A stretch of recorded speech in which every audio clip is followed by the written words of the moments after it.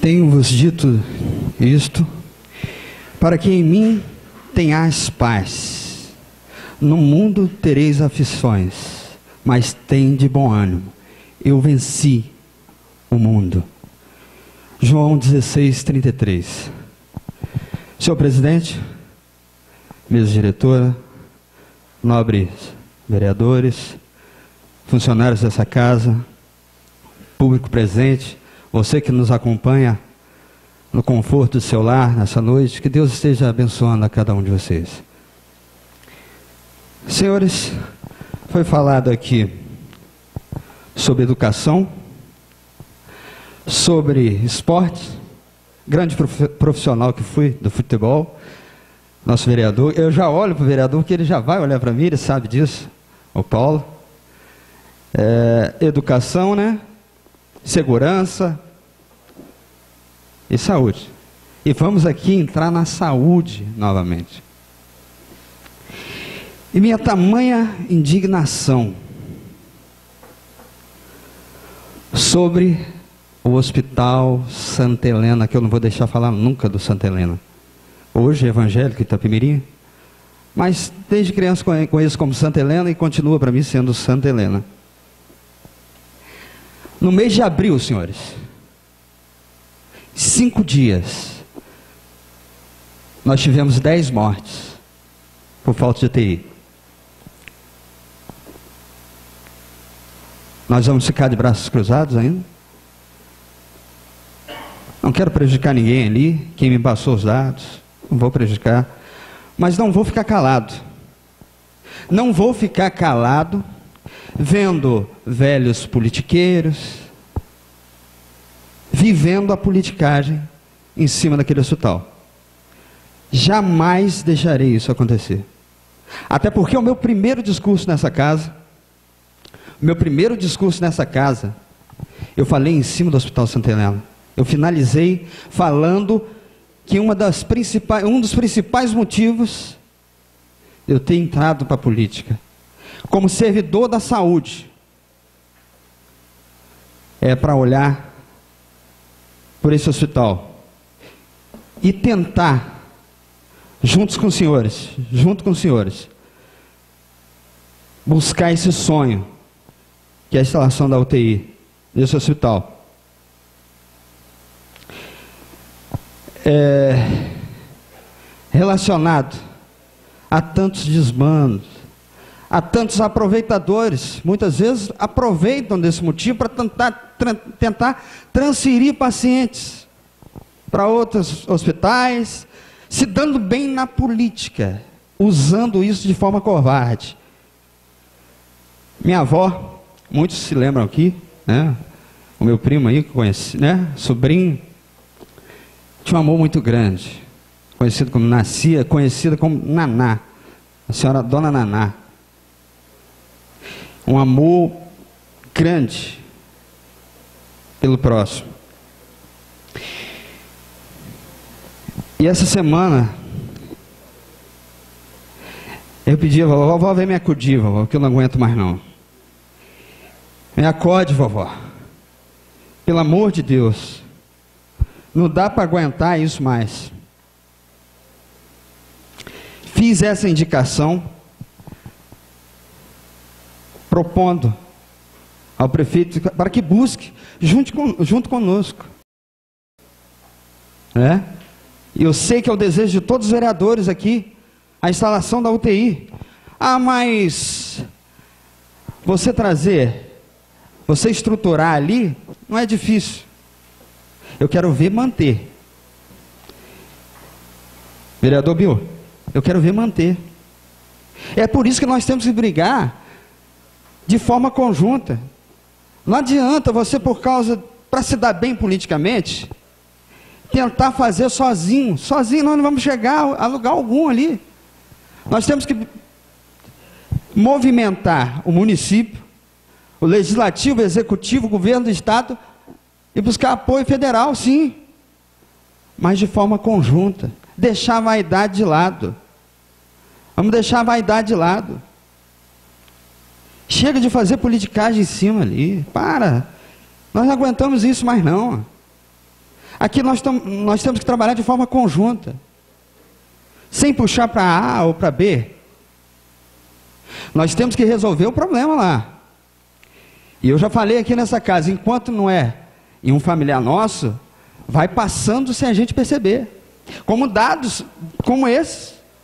Em cinco dias, dez mortos por falta de, de UTI. Nós não estamos vendo isso muitas vezes. Mas não podemos mais ficar de braços cruzados. Por isso eu quero propor, senhor presidente, a Vossa Excelência,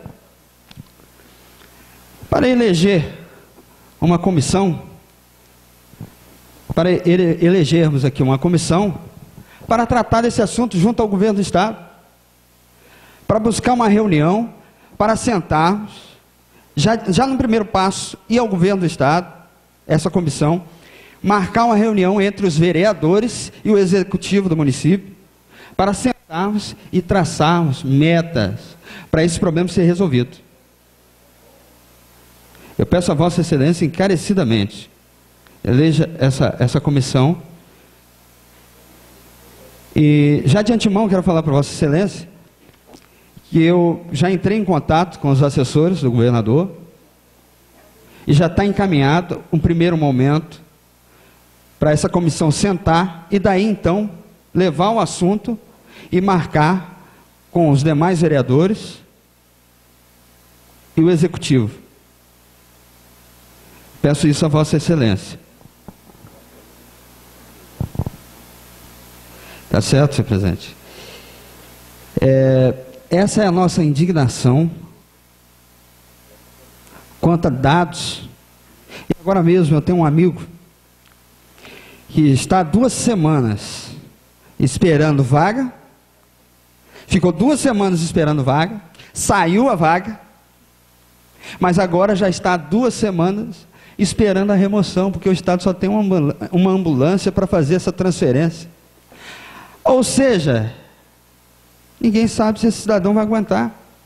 Não sabe se vai aguentar até amanhã, até daqui a pouco. Vereador, uma parte da sua fala. Sua fala é muito importante Gostaria de fazer menção a alguma situação relacionada a isso também. É, há quanto tempo a, a UTI, a estrutura física, está montada? Tem um certo tempo, nós vereadores do mandato passado fomos lá visitar a estrutura física, certo? Existe algum pedido do município ao Estado para contratualização, para colocar aqui em funcionamento, ou ao Ministério da Saúde em Brasília?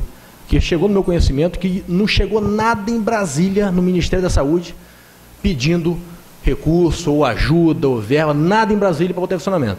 Então, mas primeiro nós temos que seguir os degraus. Governo do Estado, depois Brasília. Porque se a gente ficar falando, falando, falando, falando, e não entrarmos em ação, a gente não vai conseguir resolver esse problema, não. É um problema grande, mas que nós juntos temos força o suficiente para superar e resolver esse, esse problema. Por isso, vereador, estou propondo que seja eleita essa, essa comissão para que possamos estar articulando isso. E é exatamente isso aí. Nós temos que deixar a vaidade lá, ah, porque vai aparecer o vereador Rogerinho, o vereador Wagner. Não. Nós precisamos resolver esse problema. Nós somos eleitos para isso. Vereador, com a parte. É, consultando jurídico aqui a secretário, nós já temos uma comissão de saúde permanente, tá? É, depois o Arilson vai ver quem é os membros para a gente que é. E vamos correr atrás disso aí. Bom. Ok. Eu, é, é, só perguntando, senhor presidente, eu poderia dar um apoio também a essa comissão? Sim. Eu queria, encarecidamente, eu peço também para fazer parte né, dessa, dessa, de apoio a essa comissão. E só assim nós vamos resolver, vereador João, esse problema sem as famosas é, é, é, politicagens. Sem essas famosas politicagens. Temos que deixar de lado isso. Não adianta que um só não vai resolver, não. Ah, até quanto tempo nós só estamos falando, falando, tá, chegou a hora de agir. E nós vamos agir. Concluindo.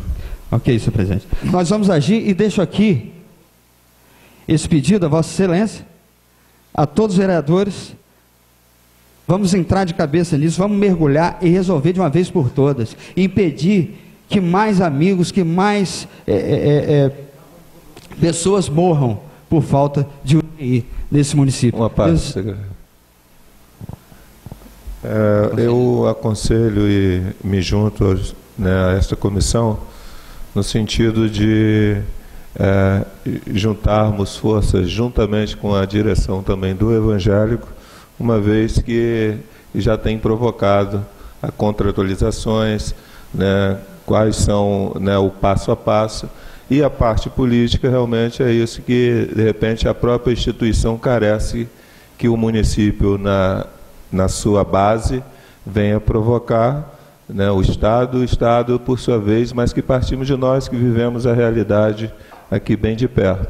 Então, vamos cumprir a nossa parte né, e forçarmos né, os poderes superiores né, que nós estamos aqui né, necessitando e pedindo socorro. Portanto, me, né, me junto aos senhores para darmos né, o primeiro passo em relação a provocar iniciativa do governo do Estado e até mesmo governo federal.